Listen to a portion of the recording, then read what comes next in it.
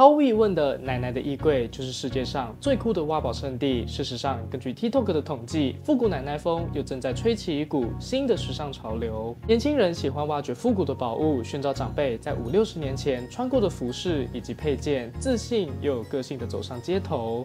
而今天的影片收集了来自世界各地的时尚编辑们聚在一起，讨论出了六种你一定要从奶奶的衣柜里偷来的单品。这些单品和配件，它们或许来自于过去，但他们经过了时代的考验，再度流行了起来。首先，第一款就是复古奶奶风的必备单品——鸡皮夹克。我奶奶总是习惯先买了衣服回家之后再试穿一次，只是这个习惯却常常让她对于刚买回来的东西感到不满意。结果就是她囤积了一堆完好如新的衣服与配件，自己只是一遍又一遍的穿着原本的衣服。而这对我来说却是个福音，只要每次打开她的衣柜，基本上就是购物的代名词。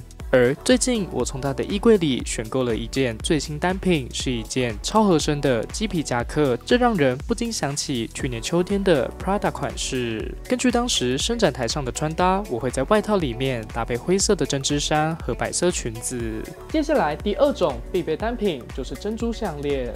其实我是一个珍珠迷，从我每天佩戴的修女款耳环简约风到超戏剧化的巴洛克风精致项链，我发现不管是哪种款式，珍珠永远都是那么的华丽。其实我也喜欢用珍珠作为礼物，精美的珍珠永远都是你可以收到的最好礼物。如果我可以从我奶奶那里偷到一个配件，那么绝对会是珍珠项链。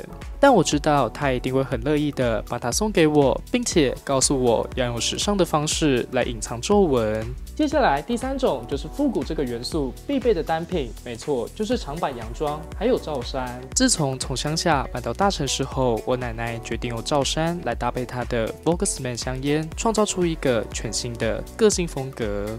我一直记得他腰间总是系着紧紧的蝴蝶结，而领口也不像传统那样露出太多。但他穿的颜色和布料就是比皮肤抢眼许多，也在我心中留下了最温柔的回忆。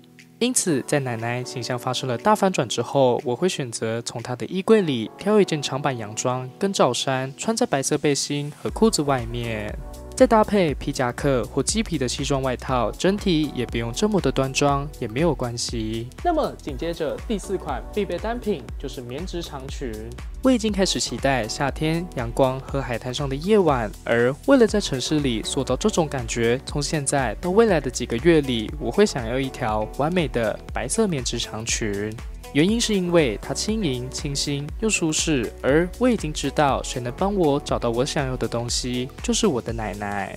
我奶奶的衣柜里就是一座博物馆，透过服装和配件，完整的展示了意大利从一九六零年代到现今的历史。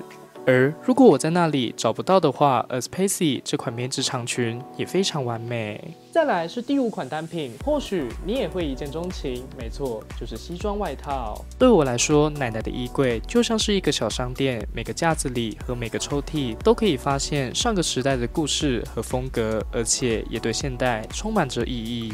而我最喜欢的单品之一就是西装外套，它是一款经典而卓越的造型选择，可以跟任何的服饰搭配。无论你想要优雅风还是运动风，冬天穿还是春天穿，都可以找到适合的穿搭方式。接下来这个单品绝对是复古奶奶风里面必不可少的一个单品，你们知道是什么吗？没错，就是手表。从小我就喜欢浏览我祖父母的衣柜，多年来我也从他们那里偷了许多衣服和配件，而这些东西也就成为我的衣柜里重要的一部分。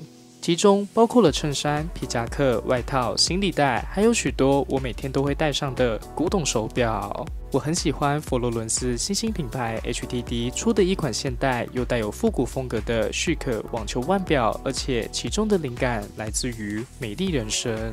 那么以上就是本周时尚周报跟大家分享的关于六种复古奶奶风的必备单品。这样你知道怎么搭配了吗？看完以上 TJ 帮大家统整的单品，你们是不是也在思考，平常我奶奶的衣柜里有这些东西吗？记得持续关注我，也欢迎在底下留言，你平常的穿搭灵感都来自于哪里呢？但在离开之前，千万不要忘记帮我订阅、按赞、分享，你们的支持就是我前进的动力。那么我是 TJ，我们下期再见。